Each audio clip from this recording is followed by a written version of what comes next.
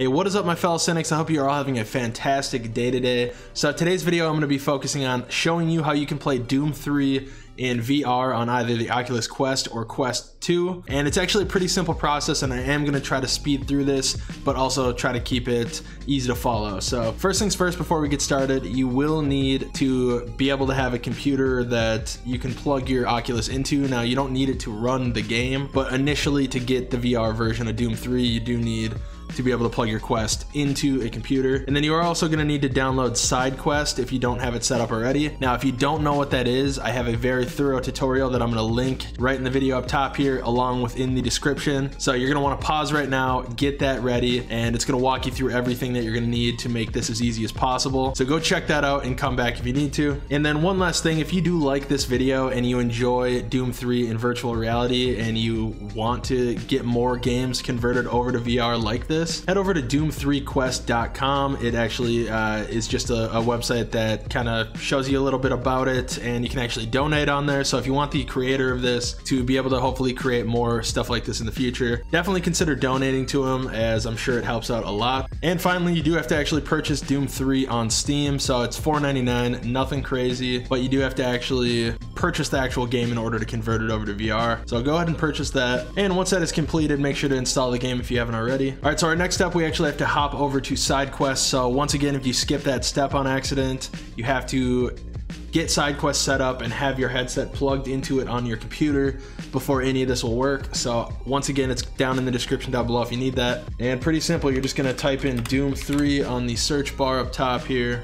And then up on the top right here, you're just gonna hit install the headset. And on the bottom here, it will say all tasks complete once it's downloaded. Now this doesn't actually take very long to do, so uh, it's already actually done. So now we're actually gonna unplug our Oculus Quest and put it on. All right, so once we're in the Oculus Quest, you're gonna go to your apps.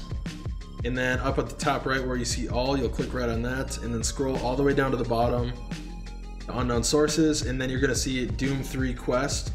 We're gonna click right on that and hit allow permissions. Now this isn't actually going to get the game running right now, but what it did is it actually put the Doom 3 Quest folder in the actual Oculus folder for when we plug it back into the computer. So that is going to be our next step is to plug our Quest back into the computer. And just a quick thing, if it's not showing up on your computer, every time you plug it into your computer, you do have to put the headset back on and just allow uh, a couple things that pop up on the screen. So allow the USB debugging, and uh, there's one other message that will pop up that you'll have to allow on. So first things first, you're gonna go to the Windows C drive, and then you actually have to find the Steam Doom 3 profile. So the most common place that it's probably gonna be saved at is under 86 here. Then you should be able to see Steam right here, double click that. And then you will be able to do Steam apps, I believe, common. And then that's gonna be your list of games. So Doom 3 right here. So what you're gonna do is click on that and then there's gonna be a, a, folder at the top that says base. So go into that and then we actually need to copy all of the files ending in PK4. So just click all of those ending in PK4. You can skip all the rest. And then we're just gonna copy that. And then we have to actually go to our Oculus folder. So once again, make sure your Oculus is plugged in and you allowed approval on it. So you'll see the Quest 2 right here most likely, and then you can go to internal storage. And then you should be able to see Doom 3 Quest right here, which is the whole purpose of us going into the quest a couple steps back and just trying to start the, the VR game.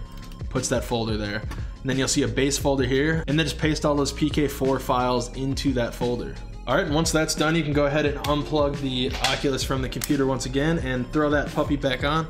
And then once again, go to your apps, and then if you're not still on unknown sources, uh, that's where you're going to want to go. So you once again might still be on the all category here. You're going to have to go down to unknown sources and then click Doom 3 Quest. And there you go.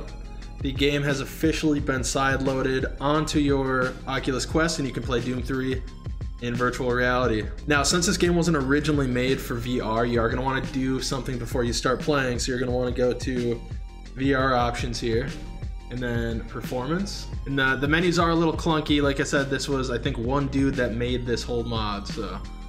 Uh, and then right here, you're gonna see Quest 1 and Quest 2 uh, settings that it recommends. So I would just go through and set it to these uh, this, these settings. Um, this is to be the smoothest performance that you're to get out of the game. So uh, just I'd stick to around these settings that they offer. So once you do that, you hit close and boom, new game. Let's do recruit since uh, I'll probably suck. That is going to wrap up my video though today guys. I hope you were able to find this helpful.